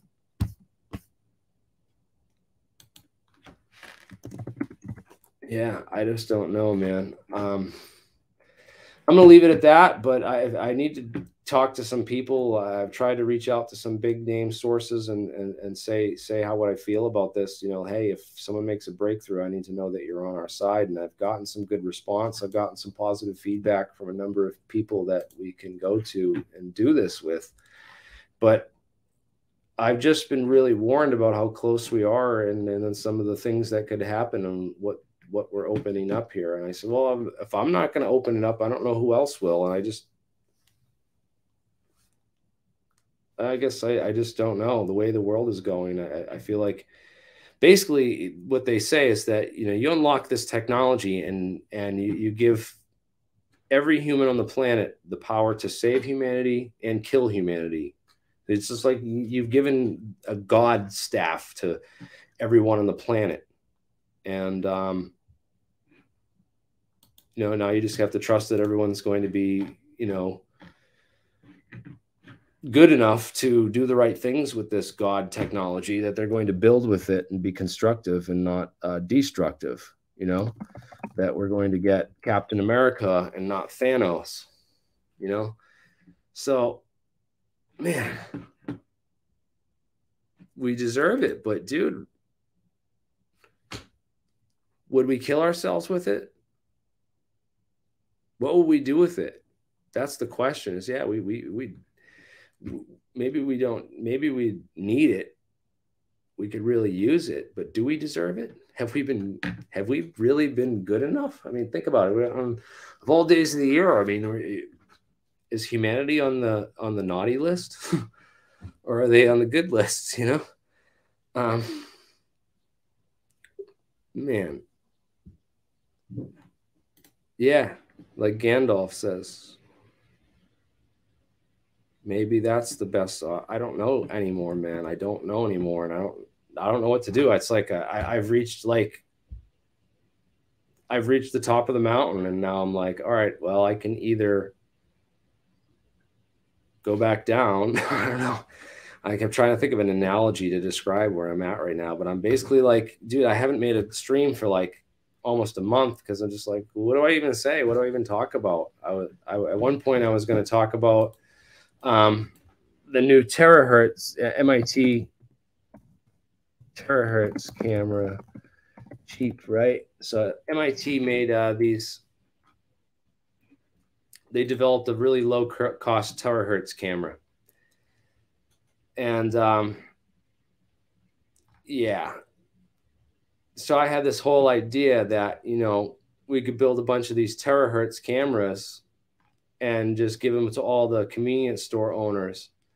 Because these terahertz cameras can um, they can actually see through paper. So i had this whole idea that you know well you put these in everyone's hands they're going to be able to uh, lottery tickets the scratch tickets scratch lottery tickets are going to be completely obsolete within five years bro once these cameras come out on the market. And like I don't want to say this because it's like, oh man, I was first I was like, oh, what if you had like a whole bunch of these? We could just scan all the lottery tickets and find all the winners, and just you, you could have every store clerk scanning all the tickets so that you know you're only selling losers, and you'll find that twenty thousand dollar winner, before, and you know, because you can just see right through the scratch ticket paper. You can literally use this camera to like look right through it. Um, so I had this whole idea. Oh, I can make a movie about. I can make like a short film where these MIT students do this, and then they start, you know, scanning all the lottery tickets, and it shuts and it creates this. I mean, dude, that would just create a big boondoggle for the, the lottery tickets. Scratch tickets would be completely obsolete, dude. They'd be like, no one would buy them anymore. They'd all be losers because you just scan them for the winners. Um, anyways, uh, yeah, I had that whole idea. I was going to do a video on that and talk about it, and and um, you know, just how we're creating new technology, which is going to hack all of our old ways of life and just things we take for granted as normal are just not going to be exist in the next in, in, in like five, 20 years. Right. Um, yeah. All right. So to me, I would, I would love to get a, a, team together and make this into a movie and please cast me as one of the roles. Um, if you are a producer or a director and want, want to take my idea and use it, or at least give me credit for it. But anyways, uh, yeah, yeah, dude, and they even published the ones somewhere is like where the winners are still, so you don't know where the winners are and at least what role to buy, um, or what what type of ticket to buy. But yeah, the whole the whole idea of scratch lottery tickets, man, we could make them completely obsolete within five to ten years with that this technology. People don't even realize it. They use this tech to see beneath paint and all kinds of other stuff. And it's it just the only thing keeping it out of the hands of every store clerk in America is uh, the cost. So, okay. And, um, but yeah, I wanted to just let people know where I'm at. So, like, if you don't see any videos for me in a while, uh, that's why. Because I'm just I'm really just nose down in the trenches, working on developing this technology and figuring this stuff out. Um, again, the drives are topological in nature, so um, and, and, it, and it's like those flying uh, donut pulses, right? Those are example of these uh, topological wave patterns. So, so this is a these. If you created a, a device which would produce these uh, donut pulses, you would attract the attention of uh, the DoD. You'll get a you'll get a knock on your door um, because it's a topological system, and you're creating you know these wormholes which are going to be picked up by these gravitational uh, wave detectors. Um, so the the real key language because uh, they changed the terminology. Uh, it used to be called these flying magnetic donut pulses, but uh, you'll find it in the literature under spatiotemporal optical vortices. So that's the complex, um, more precise language of saying of talking about these things, these STOVs. And apparently, if you can create one of these spatiotemporal optical vortices and create it big enough and strong enough,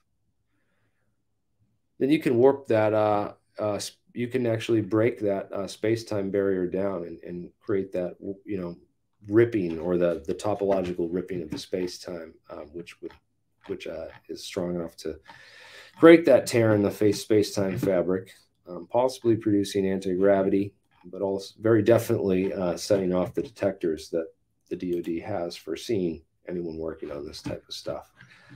So um, maybe we could do it in a. I don't know if it would work in a Faraday cage. I don't even know if a Faraday cage would protect you from this type of. Uh, it might. You know.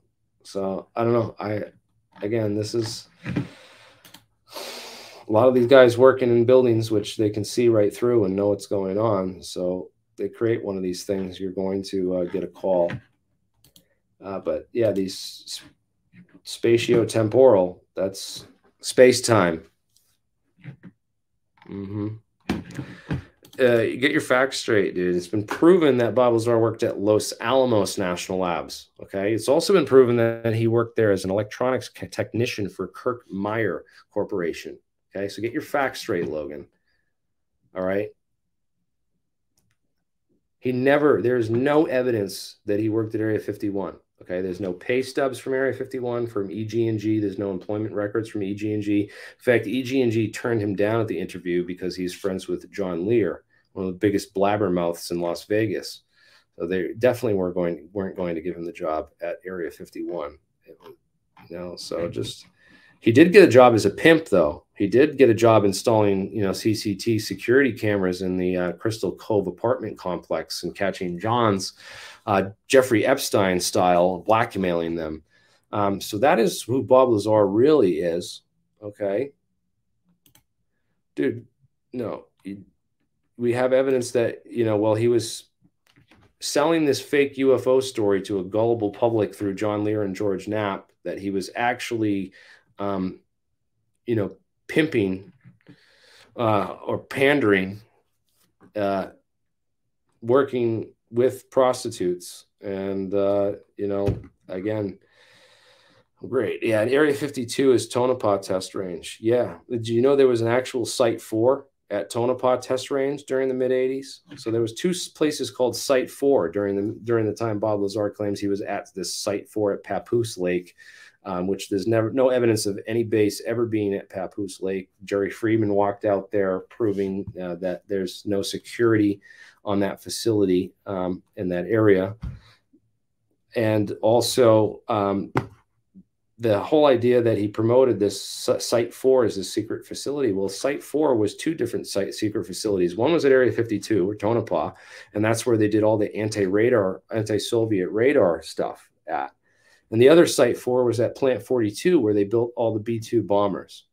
So, yeah, we have two top secret locations in the late 80s called Site 4, where they're doing top secret classified stuff. And then we have Bob Lazar coming out and saying that, oh, I worked at this alien research facility out in Papoose Lake. It was perfect disinformation, man.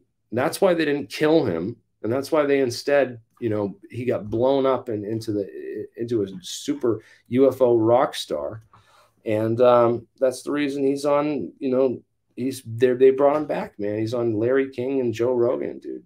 You won't find the truth on these channels and, the, these mainstream, you know, networks anymore. They do not.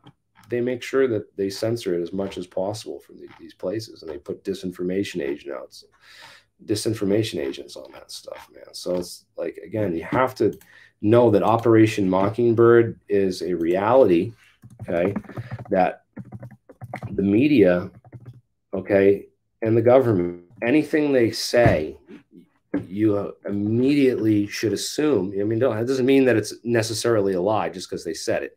But your first assumption you should make when you hear anything on your television anything from mainstream news is why I didn't fall for the COVID op. And so many people did and were calling me an anti-scientist for my, you know, views on, oh, well, I'm going to be the control group. Okay. I'm going to be the control group and sit this, this one out on the vaccine.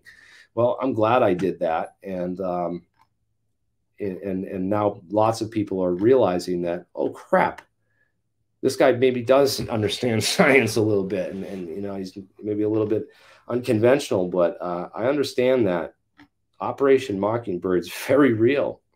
They have a CIA agent every single news organization, every single magazine, every single newspaper, every single TV station.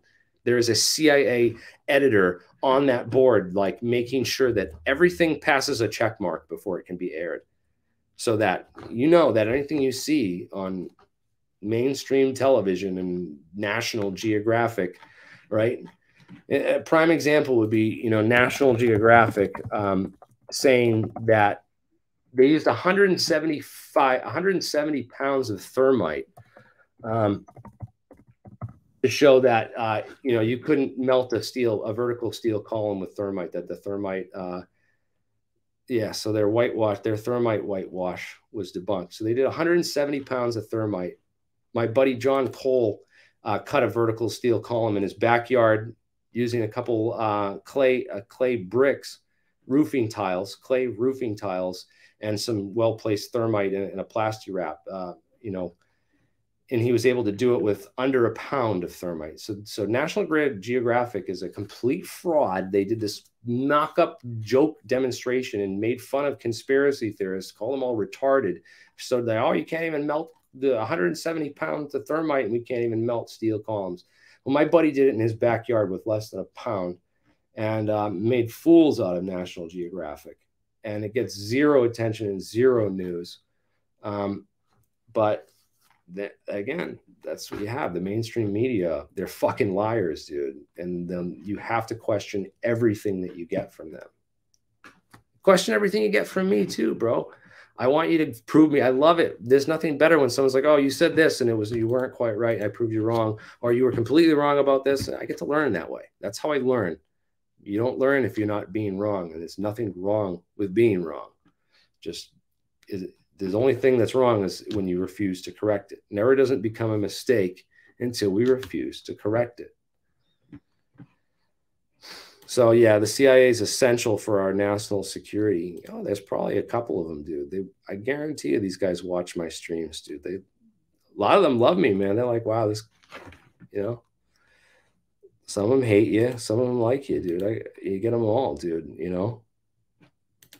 I had one guy call me up and was like, dude, I was assigned to your case. Can't tell. He couldn't tell me straight up that he was assigned to my case, but that's how he found me. Loves my work opened him up to a whole new world of thinking, new new ideas about all this stuff. You get the bigger picture, man. You realize that, oh my God. How about Elon Musk saying that, you know, all the Twitter conspiracies, right? He said every conspiracy theory that the public had about Twitter turned out to be true. Just imagine, you know, like we get, you know, they get the back door to a company like this, and he gets all those Twitter emails and the, and the bombshell where he releases all this stuff and shows all this. Just imagine if we could actually get those CIA JFK files or any of these FBI files. I want to leave you guys off uh, with the history of COINTELPRO so that people can um, see just how awesome this this actually happened over Christmas. So the burglary, it was actually a burglary um, that exposed Cor, uh, COINTELPRO, and they cased this FBI. You're on democracy. Out. They cased out this FBI office. This woman was one of the women who did the robbery, right? She worked with a bunch, of a group with a bunch of professors and some of these people who were trying to expose these corrupt assholes at the FBI, and they they they stuck, they staked out this office for months and then uh, I think over Christmas they went and broke into the uh, broke into the actual offices and did a burglary. And in that burglary, they stole all these FBI documents. So they were they were these FBI agents working to actively subvert all the student groups, you know, uh, on the colleges nearby and stuff. So they they found all these documents, including the COINTELPRO document, and that's wh why we actually have these some of the most crucial documents exposing uh, these criminal assholes in our government uh, came through uh, illegal means. We had to we had to break in. We had to have criminals uh, break into the FBI's offices and steal their files and expose this in order to get it out. This would have never seen the public, never seen the light of day if you know unless unless someone did that, broke into the FBI's office and and, and published that stuff. Um, or if uh, you know someone at the FBI could have been brave enough uh, risk they, they would they would have risked their career. They would have gone to jail for for exposing state secrets too. So it's it's just like um, it's glad that these these students did it and and uh, they they went out and came forward after the uh, statute of limitations had run out, where they could no longer be charged retroactively for their crimes. They came forward on you know Amy Goodman and admitted to the whole thing and you know exposed it. But um, that, that that wouldn't have happened if an FBI agent on the inside, of course, they would have been able to track down where the leak came from, and that agent would have been tried and convicted of uh, you know violation of the State Secrets Act, and they would have been sentenced to uh, prison, like Bob Lazar would have been if he was telling the truth. Um, so, yeah, this is um, yeah, 1971. I think it was uh, in yeah, it was actually it was in March. So they didn't do it during Christmas. They did it during the Muhammad Ali Joe Frazier fight. So they had the big the biggest boxing fight. It was like the biggest, you know. So they waited for that night to to, to do it because they knew all the FBI agents would be busy watching the big boxing fight. And um, but they got away with it. I don't know if you could do that these days with all the security technologies and and, and all the the same kind of things. But um, God, thank God that they did that because, um, you know, our na- I just imagine how much less secure and less uh, free our nation would be if uh, these brave patriots uh, didn't um, conspire to commit a crime against the FBI. I mean, they, they literally created a conspiracy and broke into the FBI's offices to steal these documents and, and, and produce that. But kudos to them, man. Um, I think that we should pardon Edward Snowden and Julian Assange um, 100%. I think that it's a clear indication that we're being ruled by criminals when you know journalists real journalists are prosecuted and, and all the journalists that we have we do get are, are basically just cia mouthpieces and uh, propagandists and liars so well, the element 115 came from May 1989 issue of Scientific American, as I've shown the whole island of stability thing and whatnot. So, yeah, it's craziness. Anyways, um, here's the live stream StreamYard link again. Yes, pardon Snowden. Heck yeah. thanks, man. I hope uh, to bring you more. Thank you for the $10 super chat. Merry Christmas. And uh, Merry Christmas to all and to all a good night. Here's the StreamYard link if you'd like to join. I'm going to end the uh, live stream, but feel free to join me behind the scenes so we can uh, we can hang out and uh, and chat. I've already got some people uh, lining up. So, what's up, guys? Hello. Merry Christmas. Merry Christmas. We're gonna end yeah. it. Here. I'll see you uh, back.